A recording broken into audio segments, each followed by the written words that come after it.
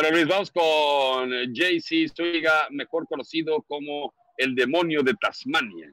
¿Dónde anda? Dando vueltas, de espiral. Este cumbión bien loco. Ah, no, ese es otro. vamos, vamos. ¿Cómo estás, mi querido tío Jerry? Yo también te mando un saludo. Aquí seguimos en Santa Clara, California, pegados a la selección nacional mexicana, que viajará hasta el próximo jueves a Dallas. Se van a mantener, digamos, pues aquí en concentración este día lunes, martes, miércoles, para hasta el día jueves eh, poder viajar. Hay que recordar que también, bueno, pues el día de mañana es 4 de julio, es un día importante para eh, los Estados Unidos de Norteamérica. Digamos que es puente, entonces también hay una saturación en los aeropuertos, hay muchísima gente, por supuesto, eh, de, ir a sus destinos, de llegar a sus destinos, entonces prefirió la gente de selecciones nacionales, pues evidentemente no arriesgar y que la selección nacional viaje hasta el día jueves, porque hay que recordar que este torneo, que es más largo que la cuaresma, pues se va a jugar ahora de domingo hasta el sábado. Luego jugarán en Las Vegas a mitad de semana y hasta el próximo domingo 16 se jugará la gran final en el SoFi Stadium, donde, bueno, uno esperaría que la selección nacional mexicana esté ahí. Ayer me parece que sí, yo estoy de acuerdo con ustedes, hay una responsabilidad compartida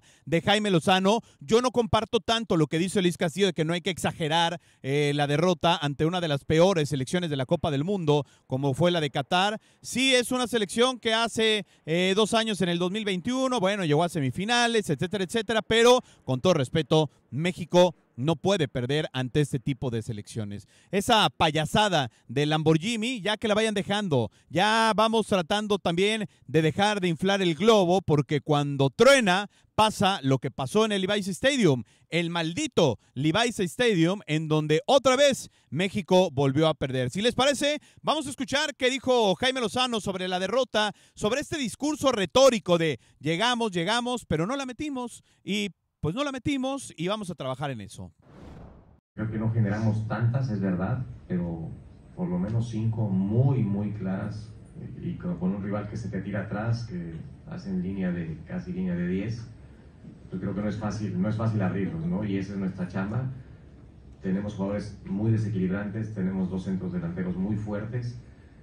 Y, hoy creo que hasta chilenas vi y lamentablemente todo lo que fue bueno con Honduras y, lo que pudimos concretar con Haití, que, que, Santiago hizo un golazo, hoy creo que hubo situaciones más simples de resolver y, y, eso pasa, eso pasa y nos pasó todo eso hoy. Al final creo que no, creo que si nos dan 10 minutos más igual no íbamos a meter. Así te digo porque habíamos hallado unas tan claras que creo que el equipo luchó, movimos un poco las piezas, metimos gente este, distinta por los costados, eh, pusimos a Antuna de, de, extremo y de lateral, intentamos todo para, para poder generar más opciones y, y, creo que generamos poco, pero sí generamos las suficientes para, para haber hecho algo más.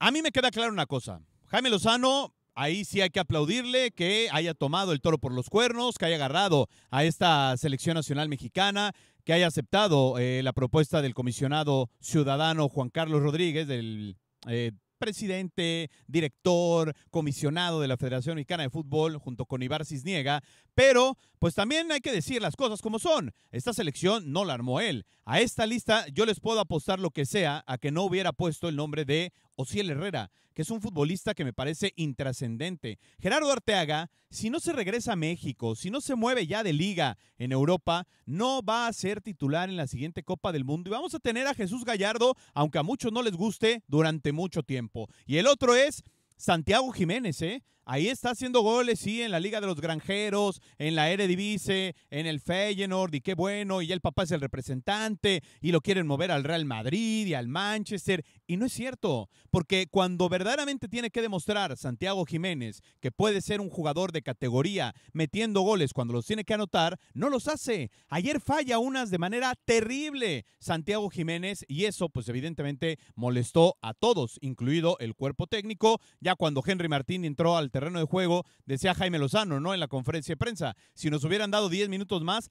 tampoco hubiéramos hecho el gol. Les platico rapidísimo, hoy había un plan A, que era darles día libre. Hoy y mañana. Están las familias de los seleccionados nacionales por acá, pero bueno, pues el horno no está para bollos en este momento.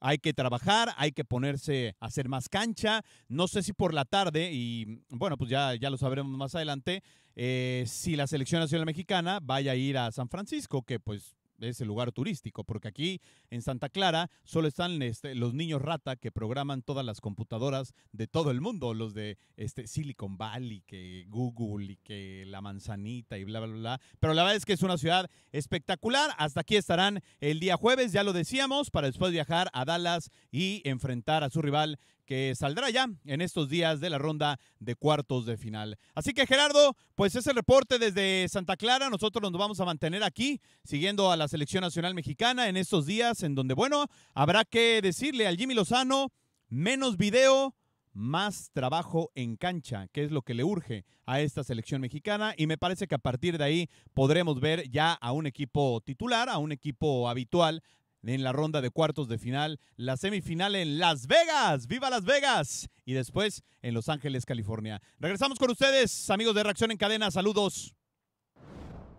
Una dolorosa derrota, ¿no? Nosotros queríamos seguir consiguiendo los triunfos, seguir ganando. Fue un partido que nos faltó ahí el último cuarto, la contundencia para que fuera diferente, así que, bueno, nos quedamos creo que con esas esa intensidad que, mostramos para querer buscar el gol.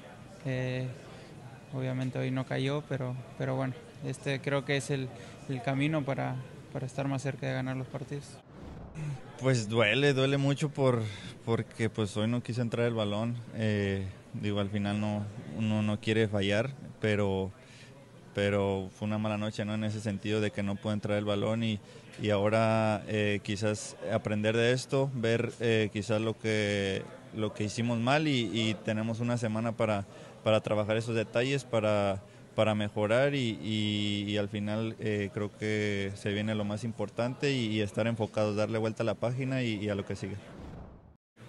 Pues creo que esta semana sí nos va a ayudar un poco a, a poder hacer más trabajos para entender un poco más al profe creo que, que sí, como dices, a veces cuando los partidos son muy cortos eh, no te deja hacer algunas cosas por las cargas físicas y todo eso, pero creo que esta semana nos va a ayudar mucho para seguir agarrándole la idea. Creo que cuando el balón no quiere entrar, ahí está, ahí está la prueba, ¿no? Tuvimos eh, oportunidades, pero pues no quiso entrar el balón. Creo que, creo que hay que ser conscientes de eso y bueno, como te digo, hay que, hay que reconocer esta derrota y bueno, trabajar para, para poder mejorar y bueno, qué más que se viene lo lindo, que es liguilla. Bueno, ya que ya está llegando el oficialismo, ya llegó la 4T en, en todo esplendor, los vendidos, los comprados, mejor dicho, y eh, dejo con Enrique Gagne la Liga MX. A mí, la verdad, me parece infame hablar de eso. Pero bueno, yo ya me voy, váyanse mucho al carajo. nos vemos para lo que es en serio, para una copa de tu confederación, para una cobertura extensa que estamos haciendo, no para estar hablando de San Luis, o sea, no jodas. Tú te lo pierdes.